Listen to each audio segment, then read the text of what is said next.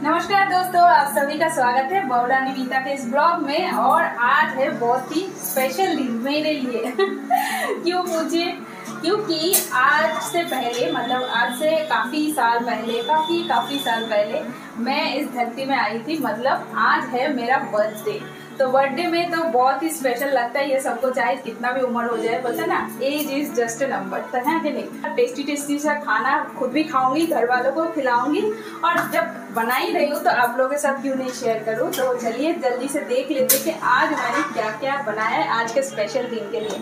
तो यहाँ पे मैं लाई हूँ सबसे पहले।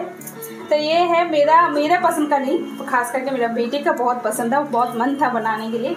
तो उसने बोला था, मम्मी, करना, बोल के देखिए वाह हाँ नाम तो ज़रूर बताऊँगी। ये है पनीर टिक्का मसाला। इसको आप चाहे तो रोटी, पराठा, पूरी, किसी के साथ नान या तो कुलचे मतलब किसी के साथ खा सकते हो। और मैंने जिसके साथ खाने के लिए बनाया है वो है यहाँ पे। तो ये है थोड़ा सा बंगाली स्टाइल में आप बोल सकते हो। पुलाव है एकदम वेजिटेबल डाल के फुड़फुड़ा ये जो है ना थोड़ा सा कच्चा चावल का पुलाव है और देख सकते हो आप। देखने में तो बहुत ही अच्छा लग रहा है। और मतलब सारी चीज़ों को मिलाने के बाद ना जैसे घी गरम मसाला साथ में आ, क्या था गाजर बीन्स कैप्सिकम काजू किशमिश तो आप सोच ही सकते हो कि कितना यम्मी लग रहा होगा लेकिन रात के लिए भी मेरा प्रिपरेशन ऑलमोस्ट डन है, वो है यहाँ पे जो बन रहा है।